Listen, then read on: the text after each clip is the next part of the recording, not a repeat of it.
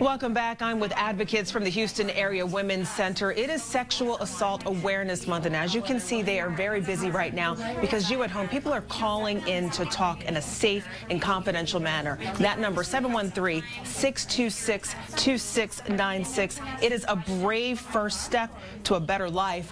One Houston woman who we met made the call, and it put her on the path to healing. It could happen to anyone, but Elaine never thought it would happen to her. I went to the dumpster to take out my garbage, and a neighbor offered me some to share some food that he had brought back from a party, and I asked him to come in, and I would put it in a Tupperware dish, and then that would be it. And that's not what happened. I was assaulted. Sexually assaulted in her own home. The 66 year old hid out for days, shocked and ashamed. When she finally found the strength to reach out for help, the responses were all wrong. Called my best friend, one of my very best friends, and she said, Well, Elaine, what were you wearing that night? And then other friends would say, well, what were you doing at the dumpster, taking out your garbage that late, late at night? I had someone tell me, said, you know, you served time in the military. You're a big, tall woman. You know, I'm a large lady. And why couldn't you do something? And so by the time you actually find help, you're in worse shape than you were when it actually just happened.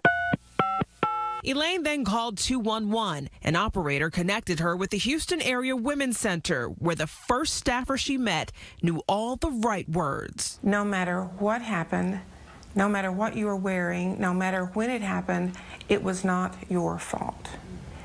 And those were like the most magical words that started this whole process of healing here. She's been attending group meetings for the past year with trained counselors where there's a pillow for comfort in every chair. There's a lot of pain in healing, but I look at it this way.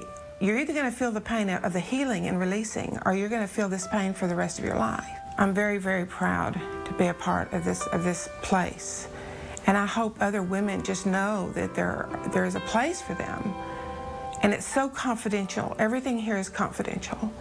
It's protected, it's safe, and it's, um, it's a place I'm very glad I found.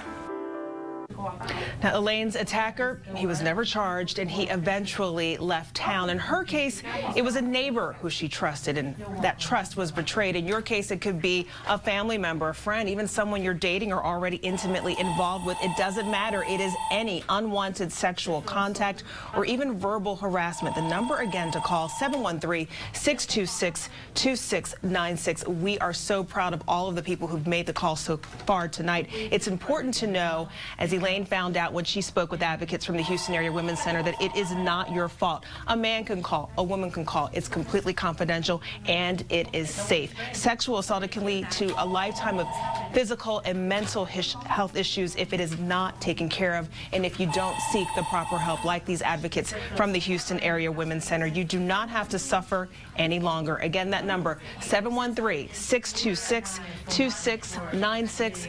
Don, we'll send it back to you now in the studio yeah.